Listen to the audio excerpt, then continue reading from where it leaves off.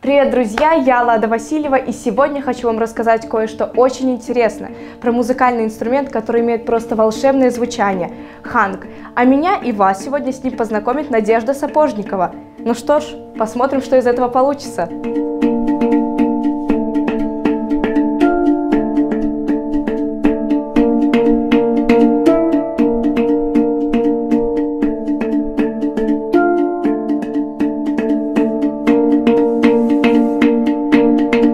Лада, привет. Здравствуйте.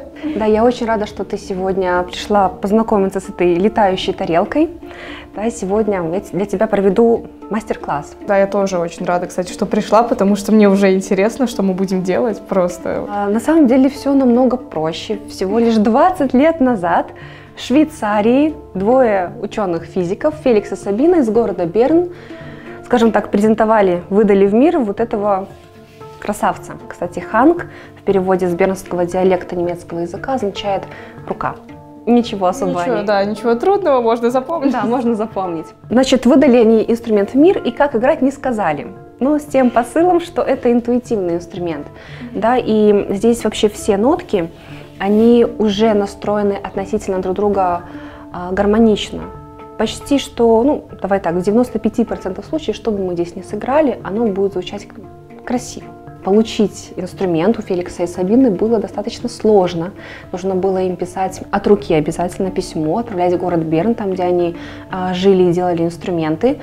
И иногда даже не читая письма по почерку, они определяли, хотят они делать инструмент человеку, либо не хотят. И, скажем, если ты профессиональный музыкант, скорее всего, тебе инструмент не сделали бы. Ханг — это зарегистрированное торговое название, и хангом называют только то, что сделали Феликс и Сабина. Вот, все остальное называется уже, сделанное другими мастерами, называется хендпан. У нас Хендпан. Да, хендпан. Хенд – рука, пан, пен, кастрюля, сковородка. Тоже, в принципе. Тоже все легко, да. Все просто и, и понятно. Наш инструмент, на котором мы сегодня будем играть, называется строй кельтский ре минор. И несмотря на то, что он минор, он не перегружен никаким особым настроением, то есть э, на нем можно будет сыграть и что-то достаточно жизнерадостное, такое позитивное, также и какие-то меланхоличные мелодии. Смотри, если мы просто э, ударим по ноте, она у нас заглушится, да? она у нас не пропоет. Нам нужно, чтобы она пропела, и нам нужно, чтобы она, скажем так, подышала. Поэтому, во-первых, расслабляем кисти, это очень важно. Расслабленные кисти, расслабленные пальцы. Обычно это указательный пальчик, подушечка указательного пальца. И смотри, делаем такой, такую легкую волну и бьем по нотке сразу от нее супер, отскакивая. Отлично. С таким же отскоком, также подушечкой пальца. Класс. Ну, могу сказать, Лада, что у тебя это талант. Да. Очень успокаивает, прям да, на самом деле вообще инструмент для медитации очень часто используют, потому что именно он такой медитативный. Если на нем тем более играть какие-то тягучие такие мелодии, он просто тебя отключает и ты очень-очень-очень классно можешь расслабиться. А мой преподаватель э, Иван, он мне всегда говорил, я вот помню, что он нам показал на первом занятии, этими двумя пальцами мы покорим мир.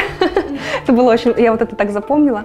Да, то есть э, обычно мы сразу просим учеников, чтобы привыкали использовать внизу а, большой палец. Ну что, поехали тогда, да, соберем все вместе, да, то есть э, два раза вступление и по четыре раза каждый элемент. Все, да.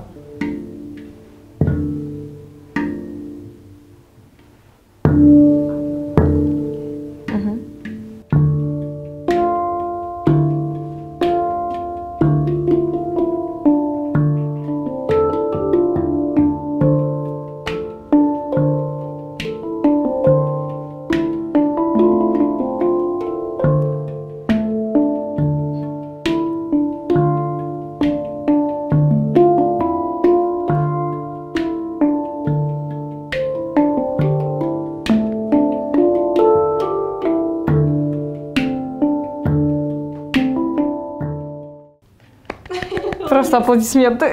Друзья, я как будто реально побывала на другой планете, не зря это называют НЛО, просто какие-то космические звуки, которые очень вдохновляют и умиротворяют. Советую всем просто записаться на мастер-класс к Надежде, это было что-то восхитительное на самом деле. А с вами была я, Лада Васильева и... Сапожникова Надежда, преподаватель творческой мастерской Хангамелион. Спасибо вам, Надежда, было очень классно. И вам спасибо. Всем пока!